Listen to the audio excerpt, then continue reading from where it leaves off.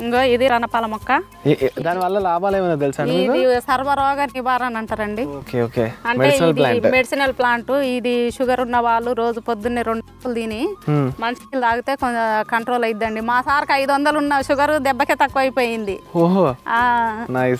బాబు చనిపోయినాక బాగా సిక్ అయిండు. ఏడెనిమిది లక్షల దానికి అయినాయి మా సార్కు. ఇక ఈ ఆకుల కషాయాలన్నీ తాపించిన తాపించినాక మంచిగా అయిందండి ఇది వామాకండి. ఇగో ఇది వామాకు. బజ్జీలు బజ్జీలు బజ్జీ కూడా. బజ్జీలు కూడా చేసుకోవచ్చు. అమ్ముతామండి మీ ఈ మొక్కలు. థర్టీ రూపీస్ కో మొక్క. మన గార్డెన్ గ్రూప్లో తీసుకుపోతారు. ఇది సీతమ్మ వారి జాడండి. తెలంగాణ ఆ, ఫేమస్.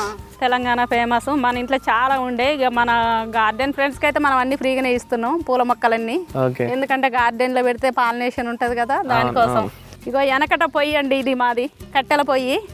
ఎందుకు చెప్తున్నానంటే దీని మీద అన్ని ఆకులు వేసి ఉడకబెట్టి మన చెట్లకు కషాయాలు చేస్తా అన్నట్టు ఓకే మొత్తం మీరు ప్రిపరేషన్ అంతా దీని ఆ, ఎందుకనంటే ఇక గానగ ఆకులు సీతాఫల ఆకులు ఆ, జిల్లేడు ఆకులు వేపాకులు అన్ని వేసి ఉడకబెట్టి చెట్లకు స్ప్రే చేస్తా. చెట్లకు స్ప్రే అదే పెస్ట్ లెక్క పెస్ట్ లెక్క.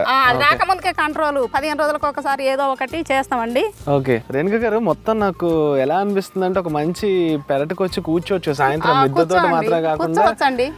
ప్రశాంతంగా చుట్టూ చెట్లు మధ్యలో చిన్న ప్లేస్ గార్డెన్ లాగా భలే ఉంది అంటే మేము చైర్లు వేసుకొని పొద్దున్న నుంచి ఇక్కడే కూర్చుంటాం అండి ఇక్కడే కూర్చుంటా. నేనైతే ఇక్కడే కూర్చుంటా సార్ ఉండడు. నేను మా స్నూపీ ఇద్దరం ఇన్నే ఉంటాం. చెరొక చైర్ వేసుకొని ఇన్నే కూర్చుంటాం.